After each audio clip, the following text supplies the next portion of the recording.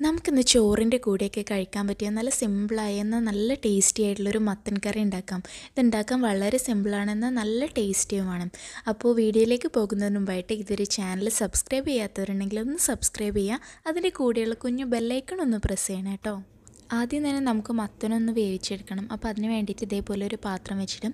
അതിലേക്ക് നമ്മൾ ഇതേപോലെ ഒരു മീഡിയം സൈസായിട്ട് കട്ട് ചെയ്ത മത്തനെ മത്തൻ പീസസ് ഇട്ട് കൊടുക്കാം. ഞാൻ തൊലി കളഞ്ഞിട്ടുണ്ട് കേട്ടോ. അതേപോലെ കുരുവും കളഞ്ഞിട്ടുണ്ട്. തൊലിയും കുരുവും കളഞ്ഞിട്ടാണ് ഞാൻ കട്ട് ചെയ്തിട്ടില്ല പിന്നെ ഇതേപോലെ ഒരു മൂന്നോ നാലോ പച്ചമുളക് നടുവിൽ കീറിയിട്ട് അതും അതിലേക്ക് തന്നെ ഇട്ട് കൊടുക്കാം. അതേപോലെ ഇനി നമുക്ക് ഇതിലേക്ക് ആവശ്യത്തിനുണ്ട് ഉപ്പും കൂടി ചേർത്ത് കൊടുക്കണം. പിന്നെ സാധാരണ നമ്മൾ പച്ചക്കറികൾ വേവിക്കുമ്പോൾ ചേർക്കുന്ന പോലെ മഞ്ഞൾപ്പൊടി ഒന്നും ചേർക്കേണ്ട ആവശ്യമില്ല കേട്ടോ. മത്തന് ഓൾറെഡി മഞ്ഞ കളർ ഉണ്ടാകും ഇനി ആവശ്യത്തിന് വെള്ളം ഒഴിച്ചു കൊടുക്കുക. വെള്ളം ഒഴിക്കുമ്പോൾ ടെൻഷൻ വേണ്ട. മത്തനെ നമ്മൾ ഉടച്ച് കഴിയുമ്പോൾ കറി നല്ല തിക്കാവും. അതുകൊണ്ട് വെള്ളം കൂടി പോകുന്നില്ല. എന്തായാലും ഏകദേശം മത്തന്റെ ഒപ്പം നിൽക്കുന്ന രീതിയിൽ തന്നെ വെള്ളം ഒഴിക്കാം. എന്നിട്ട് നമുക്കിതിനെ ഒന്ന് അടച്ച് വെച്ചിട്ട് മത്തൻ നന്നായിട്ട് വേവിച്ചെടുക്കണം. ഈ സമയം നമുക്ക് ഇതിലേക്കുള്ള ബാക്കി സാധനങ്ങൾ അരച്ചെടുക്കാം. അപ്പോൾ ഞാനിവിടെ കുറച്ച് തേങ്ങ എടുത്തിട്ടുണ്ട്. പിന്നെ ഇതിലേക്കൊരു പത്ത് പന്ത്രണ്ട് വരെ ചെറിയുള്ളി അതേപോലെ ഒരു ടീസ്പൂൺ ചെറിയ ജീരകം. ഇത്രയും സാധനങ്ങൾ നമുക്ക് മിക്സിയിലൊന്ന് അരച്ചിട്ട് എടുക്കണം.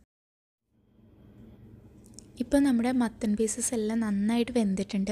ഇനി നമുക്കിത് ഒരു കയ്യിൽ ഉപയോഗിച്ചിട്ട് ഇതെല്ലാം ഒന്ന് ഉടച്ചു കൊടുക്കാം. എല്ലാം എന്ന് പറഞ്ഞാൽ എല്ലാ പീസസും ഉടക്കണമെന്നില്ല. ഇതിന്റെ ഒരു പകുതി ഭാഗമെങ്കിലും എന്തായാലും ഉടച്ചു കൊടുക്കണം. കാരണം മത്തൻ പീസസ് ഉടഞ്ഞിട്ട് അതിലിങ്ങനെ ചേരുമ്പോഴാണ് ആ കറിക്ക് നല്ല ടേസ്റ്റ് ഉണ്ടാവുക. ഞാനിപ്പോൾ ഇതിന്റെ ഏകദേശം ഒരു മുക്കാൽ ഭാഗം ഉടച്ചു കൊടുക്കുന്നുണ്ട്. ഇനി കടിക്കാൻ ഇഷ്ടമുള്ളവർക്ക് വേണമെങ്കിൽ അങ്ങനെ എടുക്കാം. അതേപോലെ മത്തന്റെ തോൽ കളയണം നിർബന്ധമല്ല കേട്ടോ. ചിലർക്ക് തോടോട് കൂടിയിട്ടായിരിക്കും ഇഷ്ടം. അവർക്ക് അങ്ങനെ എടുക്കാം. അതേപോലെ ചിലർക്ക് കുരു ഇഷ്ടമുണ്ടാകും അവർക്ക് കുരുവും ചേർക്കാം. അതും കളയണമെന്ന് നിർബന്ധമില്ല കേട്ടോ. അപ്പോൾ ഞാനിതെല്ലാം നല്ലോണം ഉടച്ചിട്ടുണ്ട് ഇനി നമുക്കിതിലേക്ക് നമ്മൾ അരച്ച് വെച്ചിട്ടുള്ള തേങ്ങയുടെ കൂട്ട് ചേർത്ത് കൊടുക്കാം. ഈ തേങ്ങയുടെ കൂട്ട് ചേർത്തിട്ട് നന്നായിട്ടൊന്ന് മിക്സ് ചെയ്ത് കൊടുക്കാം. നന്നായിട്ട് ഇളക്കി കൊടുക്കുക. സിമ്മിലിട്ടിട്ട് വേണം കേട്ടോ തേങ്ങയുടെ കൂട്ട് ചേർക്കാനും.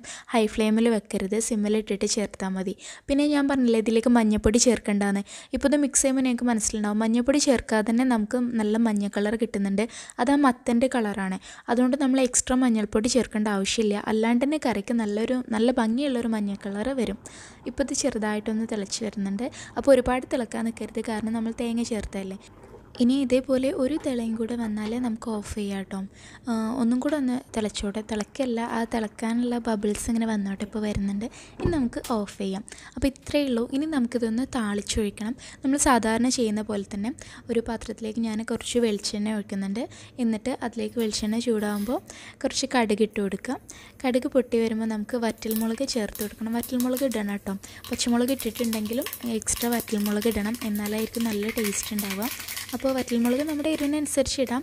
ഞാനിപ്പോൾ ഇവിടെ ഒരു ചെറിയ രണ്ട് വറ്റൽമുളക് ഒന്ന് മുറിച്ചിട്ട് ഇട്ട് കൊടുക്കുകയാണ്. പിന്നെ നമുക്ക് കറിവേപ്പിലയും കൂടെ ഇടാം. ഇത്രയേ ഉള്ളൂ. ഇനി ഇത് നമുക്ക് കറിയിലേക്ക് ഒഴിച്ചിട്ട് നന്നായിട്ട് മിക്സ് ചെയ്തെടുക്കാം. അപ്പോൾ ഇത്രയേ ഉള്ളൂ. നല്ല സിമ്പിളായിട്ട് നമുക്ക് റെഡിയാക്കാൻ പറ്റിയ ഒരു കറിയാണ്.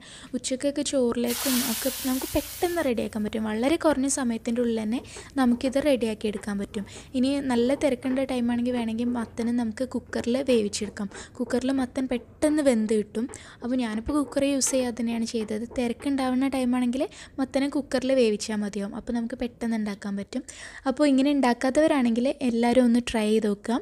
അപ്പോൾ ഇൻഷാല്ല മറ്റൊരു നല്ല വീഡിയോയിലൂടെ നമുക്ക് വീണ്ടും കാണാം.